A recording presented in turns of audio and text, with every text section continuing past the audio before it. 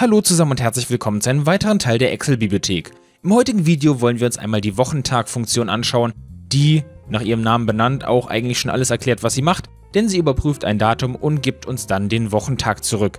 Allerdings ist das nicht so, wie man sich das jetzt vielleicht vorstellt. Wir werden das an dieser Stelle einfach mal prüfen, indem wir das heutige Datum ausgeben lassen und dann mal überprüfen wollen, welcher Wochentag denn heute ist eigentlich nicht schwer, weil man weiß es, aber es können ja auch gewisse Daten in der Vergangenheit sein, wo man das nicht weiß, wo man das überprüfen müsste.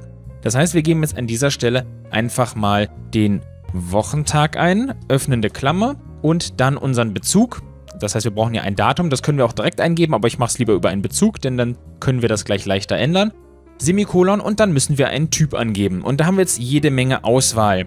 Denn es ist jetzt nicht so, dass standardmäßig festgelegt ist, Montag ist 1, Sonntag ist die 7, sondern man kann das anders machen. Das heißt, auch der Starttag kann ein anderer sein. Zum Beispiel könnte unsere Zählung auch bei einem Donnerstag starten. Braucht man als Privatperson nicht, ist vielleicht für Unternehmen etwas wichtiger. Ich finde Typ 2 immer noch am einfachsten, denn Montag ist die 1 und Sonntag ist die 7. Das heißt, wir geben hier hinter dem Semikolon eine 2 ein, eine schließende Klammer und bekommen ausgegeben 4.1.1900, was uns jetzt nicht viel bringt denn hier muss man noch das Format umstellen und zwar hier oben von Datum auf Standard. Und das ist das, was uns der Wochentag ausgibt. Also nicht so einfach, wie man sich das vorstellt. Ich gebe diese Wochentagsfunktion ein und es wird mir gesagt, es war ein Montag, ein Dienstag, ein Mittwoch etc., sondern ich bekomme nur eine Zahlenausgabe. Man ist, wie gesagt, durch diesen Typ, den man eingibt, sehr flexibel. Ich habe es jetzt einfach mal im Standardformat gemacht, meiner Meinung nach, bei der Montag der 1 ist und Sonntag der 7 und dadurch weiß ich jetzt durch 4 ist ein Donnerstag. Allerdings möchte ich da jetzt noch ein bisschen weitergehen, denn was nützt es mir, wenn hier immer nur die 4 steht? Ich möchte das ja am liebsten ausgeschrieben haben.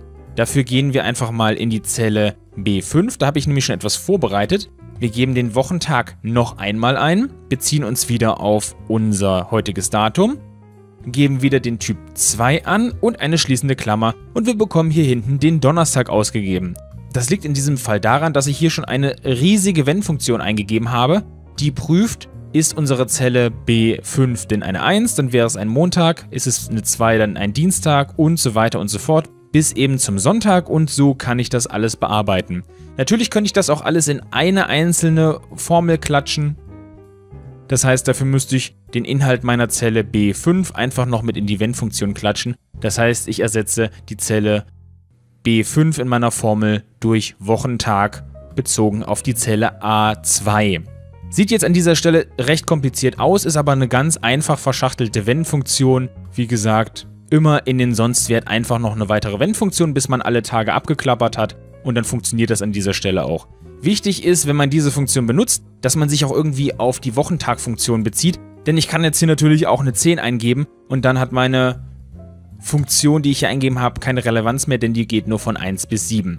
Also wie gesagt, ich habe es jetzt hier einfach nur mal einzeln gehandhabt, aber ich kann genauso gut diese Wochentagsfunktion auch noch in eine Wenn-Funktion einbinden und dann kann ich dieses Format durchaus in einer Zelle unterbringen. Hoffe, das Ganze hat euch gefallen und geholfen und wir sehen uns im nächsten Teil der Excel-Bibliothek wieder. Bis dahin, euer Schavo, ciao.